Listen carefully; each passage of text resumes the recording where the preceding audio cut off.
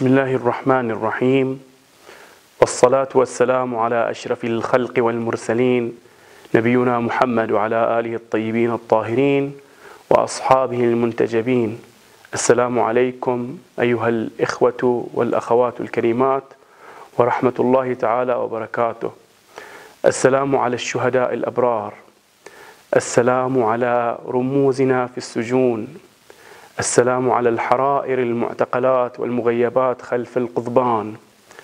السلام على أسر الشهداء. السلام على شبابنا المطارد المضحي. إخوتي الكرام في هذا التجمع المبارك أحببت أن أركز على عدة نقاط مهمة وهي كالآتي. أولا في ظل الفشل الواضح والجلي لانتخابات مجلس الدكتاتور حمد الصورية فإننا وبكل قوة ندعو للمشاركة والتصويت بنعم للاستفتاء الشعبي لتقرير المصير. وإن هذا الاستفتاء هو منكم وإليكم وهو محطة بارزة من محطات نضال شعبنا ضد هذا النظام المتجبر المستبد. ثانيا لا بد من أن تكون لنا وقفة سريعة ومبادرة حاسمة مما يقوم به العتوب حيث يعتقلون النساء العفيفات الشريفات في منتصف الليل من, بيوتهن.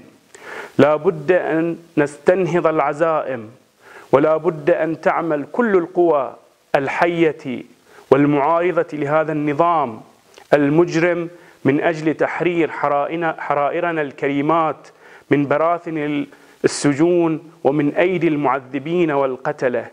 فلا بد أن نستنهض أنفسنا أولا ثم نستنهض الناس بالنهوض والتضامن والمطالبة الفورية بإطلاق سراح جميع الحرائر من السجون الخليفية. لقد زاد عددهن إلى 14 من النساء العفيفات. ولا يمكن السكوت على مس الأعراض وعلى هذا التعدي السافر من النظام الخليفي.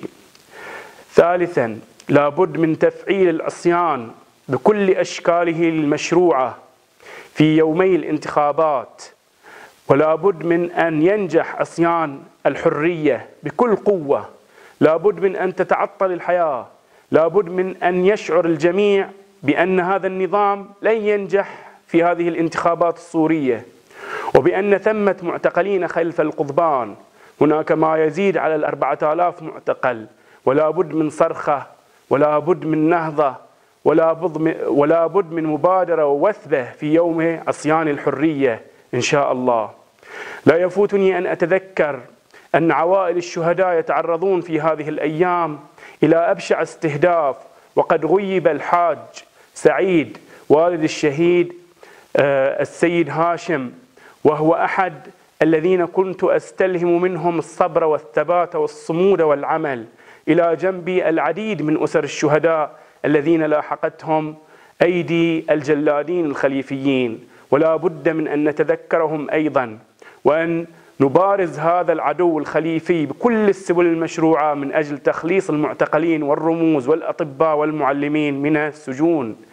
النصر لكم يا شعبنا الأبي والحرية لحرائرنا الشريفات والسلام عليكم ورحمة الله وبركاته.